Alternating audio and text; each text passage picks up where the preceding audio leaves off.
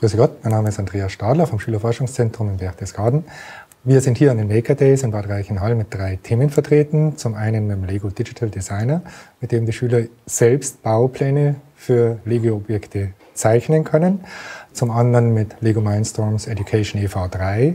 Das ist ein Lego-Robotiksystem, mit dem die Schüler dann Lego-Roboter bauen können, was sie hier auch fleißig getan haben. Und diese dann aber auch programmieren und bewegen. Zum dritten machen wir mit FEMM die zweidimensionale Simulation einer Spule für die älteren Schüler, die hier vorhanden sind. Dazu möchte ich Sie jetzt ganz herzlich einladen. Hier sind wir nun beim ersten Konzept, das wir hier für die Schüler anbieten. Und zwar handelt es sich um den Lego Digital Designer. Ich habe hier ein Objekt, das ein Schüler heute erarbeitet hat. Es handelt sich hier um eine Achse, die durch einen Motor geführt wird, mit zwei Rädern versehen ist und hier schon Halterungselemente auch für das gesamte Fahrzeug vorhanden sind. Das hat der Schüler ganz selbstständig gebaut. Wir sind hier im Zentrum in der Arbeitsoberfläche, haben hier links ein Menü, einen virtuellen Lego-Baukasten, der verschiedene Fächer hat. Hier haben wir zum Beispiel alle Fächer im Überblick. Wenn ich dieses Fach nochmal öffne, kann ich hier ein beliebiges Lego-Bauklötzchen rausnehmen und an, halt, jetzt haben wir es, und hier am Roboter ergänzen. Ist der Roboter dann letztendlich fertig, dann können wir die Anzeige wechseln und aus dem Aufbaumodus in den Bauanleitungsmodus wechseln. Dann generiert das Programm vollautomatisch die Bauanleitung, die man dann schrittweise durchklicken kann und sehen kann, wie dieser Roboter der Reihe nach auch gebaut wird. Diese Bauanleitung lässt sich natürlich auch ausdrucken und äh, ja, dann in Papierform für weitere Zwecke verwenden. Gut, dies war dieses erste Konzept, das wir den Schülern hier anbieten. Das zweite Konzept, das wir anbieten, ist die Lego Mindstorms Education EV3-Version. Hier bauen die Schüler einen Roboter, zum Beispiel wie dieser hier, der dann fahren kann und ein Lego-Bauklötzchen in seiner Position verschieben kann. Versieht man diesen Roboter dann mit Augen, wie hier mit diesem Ultraschallsensor, dann kann dieser Roboter auch sehen.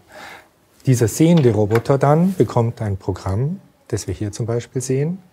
In diesem Programm startet man hier wie bei einem MP3-Player. Danach wird dieses Programm sequenziell abgearbeitet. Man tritt in diese beiden Schleifen ein. Der Roboter fährt geradeaus unbegrenzt, bis die Abbruchbedingung dieser Schleife eben sagt, dass der Ultraschallsensor, ich zeige Ihnen nochmal hier, eben einen Abstand von 50 Zentimeter bis zu einer Wand erkannt hat. Unterschreitet er die, diese Distanz, wendet der Roboter und äh, ändert die Richtung und beginnt dann in einer anderen Richtung wieder geradeaus zu fahren, bis er wieder irgendwo näher als 50 Zentimeter ist. Er fährt also wie so ein Rasenmäherroboter oder wie ein Staubsaugerroboter durch den gesamten Raum. Die Schüler haben sowas schon gebaut, sind aber heute auch schon viel weiter gekommen. Jetzt würde ich die Kamera bitten zu schwenken, denn hier sehen wir schon ein angefangenes Projekt, da handelt es sich um einen größeren Roboter, der Lego-Steinchen nach der Farbe sortiert.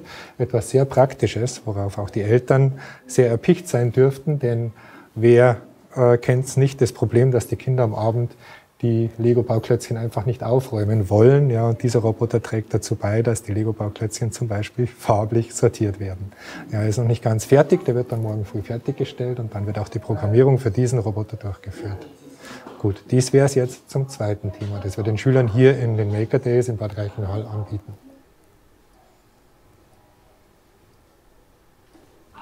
Das ist unser Farbsortierer. Als erstes tun wir unsere Lego-Stücke rein.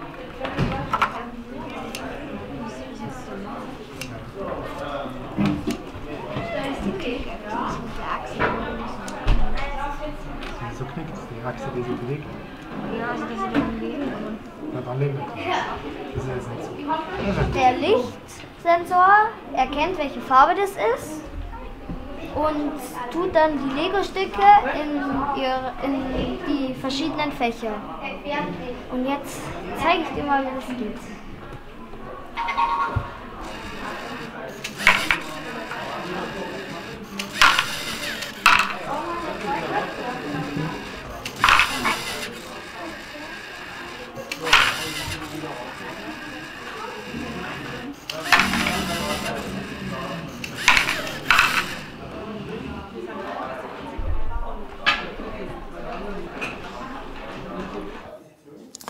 Beim dritten Thema handelt es sich um die FEMM-Simulationen.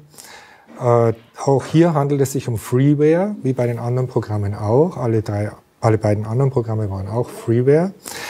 In dieser Simulation, bei dieser Simulation handelt es sich um ein typisches physikalisches Thema. Wir haben hier eine Spule, die zylinderförmig aufgebaut ist, mit einem Hohlkern innen. Diese Spule, von dieser Spule betrachten wir einen Querschnitt und auch nur eine Hälfte der Spule. Dieser Bereich wird dann in eine Simulationsumgebung eingebettet. Und das ist exakt das, was wir hier sehen. Wir sehen hier den rechten Teil der Spule im Querschnitt, eingebettet in eine Simulationsumgebung. Dies war mit Hilfe eines implementierten CAD-Programms zu zeichnen. Dann war den bestimmten Bereichen, wie hier zum Beispiel der Spule, zuzuordnen, was für ein Material es ist und welche weiteren physikalischen Eigenschaften die Spule aufweist. Für den Außenraum war festzulegen, dass es sich hier um Luft handelt. Außerdem waren in diesen blauen, für diese blauen Linien auch die Randbedingungen festzulegen und abschließend dann noch ein Mesh, sagt man, ein Netz, dieses gelbe Netz, über den gesamten Simulationsbereich zu legen. Man kann dann die Simulation durchführen und erhält als Ausgabe diese Darstellung, die uns dann zeigt, zum einen in schwarz die Feldlinien, die bei dieser Spule auftreten und dann farblich abgestuft auch die Intensität des Feldes, also die Höhe der jeweiligen Feldstärken. Hier lassen sich dann noch Schnitte in diesen zweidimensionalen Simulationen durchführen, sodass wir dann die Feldstärke auch als Funktion der Distanz betrachten können. Es lassen sich noch für jeden Punkt in dieser Grafik auch die physikalischen Werte errechnen und damit mit diesem Simulationstool letztendlich auch die Abstimmung für praktische Experimente vergleichsweise kostengünstig durchführen. Das war jetzt Dritt, das dritte Angebot an die Schüler, an die älteren Schüler hier am Maker Day, an den Maker Days in Bad Reichenhall. Also fassen wir es zusammen. Wir hatten die drei Elemente, den Lego Digital Designer, das Lego Mindstorms Education EV3 System für den Roboter und dessen Programmierung und die FMM-Simulationen für die zweidimensionale Darstellung einer Spule. Alle drei äh, Konzepte beruhen auf Freeware. Es gibt für alle drei Konzepte kostenlose Programme aus dem Internet zum Downloaden. Äh, alle drei Konzepte eignen sich sowohl für Klassenkurse als auch für Aktionsgruppen. Sie sind natürlich mit entsprechenden Unterrichtsskripten, die vorab zu fertigen sind, vorzubereiten, aber durchaus für Schüler von 10 Lebensjahr bis zum 14. Lebensjahr anwendbar.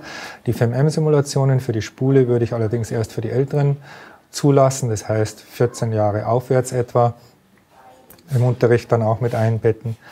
Abgesehen von der Software, die Freeware ist, kommen für Kurse nur Kosten im Rahmen dieser Lego-Roboter äh, zu tragen, die sich im Rahmen von etwa 300 Euro pro Stück äh, befinden. Äh, die Konzepte an und für sich sind sehr zukunftsweisend. Alle drei Konzepte, sowohl dieses CAD-Tool für den Lego Digital Designer, um Baupläne zu zeichnen, als auch die Programmierung von Robotern, wie auch die Simulation von physikalischen Experimenten. Äh, diese sind im Lehrplan nur bedingt enthalten, werden aber für Universitäten oder das Alltagsleben zwingend gebraucht, werden also auch in Zukunft sicher äh, in Lehrplänen zu berücksichtigen sein und derzeit auch in Aktionsgruppen stark frequentiert.